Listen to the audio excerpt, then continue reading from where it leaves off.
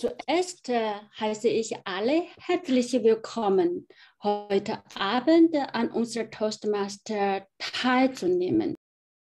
我来自慕课 Toastmaster，因为我非常喜欢说中文，我非常喜欢中国文化。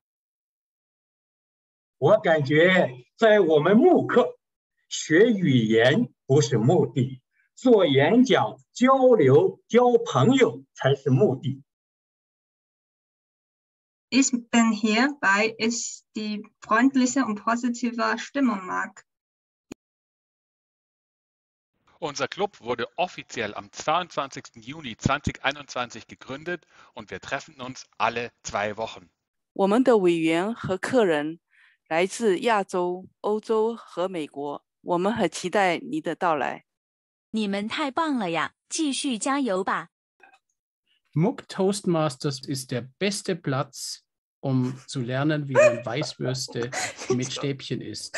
Deshalb schaut rein in dieses zweisprachige Abenteuer. 我没有想到学中文和德语那么容易。